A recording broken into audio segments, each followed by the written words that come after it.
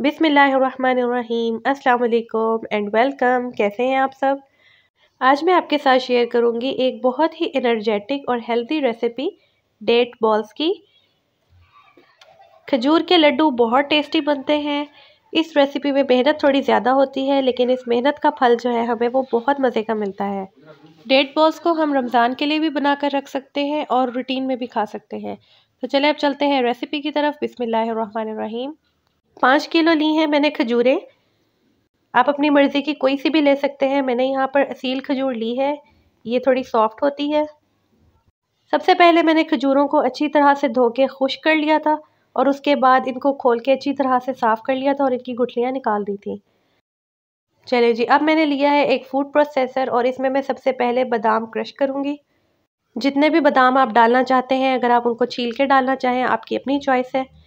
और मैं यहाँ पर बग़ैर छीले क्रश कर रही हूँ। ये देखें जी, बादाम मेरे क्रश हो गए हैं। बादाम निकालने के बाद अब मैं इसी जग में थोड़ी सी खजूरें डालूँगी और इनको ग्राइंड करूँगी। सबसे पहले हम मशीन को चलाएँगे पल्स मोड पे, ताकि खजूरें थोड़ी नरम हो जाएँ और उसके बाद हम इनको हाई स्पीड में मैश कर लेंगे, ताकि जो हमारी मशीन का ब्लेड है वो कहीं टूट ना जाए। और अगर आप चाहें तो खजूरों को हावन दस्ता में भी मैश कर सकते हैं। अब इसी तरह मैं सारी खजूरों को थोड़ा थोड़ा करके मैश कर लूँगी और इनको एक किसी खुले बर्तन पे निकाल दूँगी। ये देखें, माशाल्लाह से खजूरें हमारी मैश हो गई हैं। अब चलते हैं नेक्स्ट स्टेप की तरफ़। बिसमीम एक वोक में मैं ले रही हूँ फाइव टेबल स्पून देसी घी। घी मेल्ट होने के बाद मैं इसमें डाल दूँगी ड्राई फ्रूट्स सबसे पहले मैं डालूँगी क्रश किए हुए बादाम। और उसके बाद बारीक कटे हुए पिस्ते और चारों मगज़। आप अपनी मर्ज़ी के कोई से भी ड्राई फ्रूट्स डाल सकते हैं।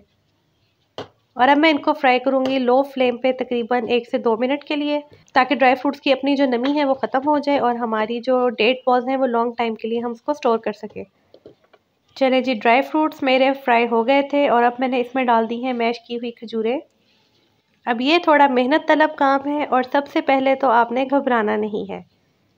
खजूरें जो हैं वो बहुत ज़्यादा स्टिकी हो जाती हैं, लेकिन हम जैसे जैसे खजूरों को घी में और ड्राई फ्रूट्स पे मिक्स करते रहेंगे तो इनकी स्टिकीनेस काफ़ी हद तक कम होती रहेगी। चले जी, मैं इसको करती हूँ मिक्स और उसके बाद मैं आपको फाइनल लुक दिखाती हूँ। और ये देखें, माशाल्लाह से हमारी खजूरें अच्छी तरह से मिक्स हो गई हैं। दस से पंद्रह मिनट हम वेट करेंगे और मटेरियल जब थोड़ा सा ठंडा हो जाएगा तो हम इनकी बॉल्स बनाएँगे। मैंने बॉल्स बहुत बड़ी नहीं बनानी, इसलिए मैं तकरीबन वन टेबल स्पून मटीरियल लूँगी। हाथों को ग्रीस करूँगी और उसके बाद बॉल्स बना लूँगी। बहुत आसानी के साथ बन जाती हैं। आप अपनी मर्ज़ी से बॉल्स का साइज़ छोटा या बड़ा कर सकते हैं। ये देखें जी, एक बॉल मेरी रेडी हो गई है। और इसी तरह मैं बाकी बॉल्स को भी रेडी कर लूँगी। डेट बॉल्स बहुत मज़े की बनती हैं। आप यकीन माने, जब आप एक बॉल खाएँगे तो आप ख़ुद को बहुत एनर्जेटिक फील करेंगे। डेट बॉल्स बच्चों को, बड़ों को सबको बहुत पसंद आती है और ये सबकी फेवरेट होगी इन रमज़ान के लिए बनाकर रख सकते हैं। एज आ स्नैक हम टी टाइम में खा सकते हैं। चलिए जी डेट बॉल्स जो हैं, मेरी वो ऑलमोस्ट रेडी हो गई हैं। अब बारी आती है इनकी कोटिंग की। ये बिल्कुल ऑप्शनल है।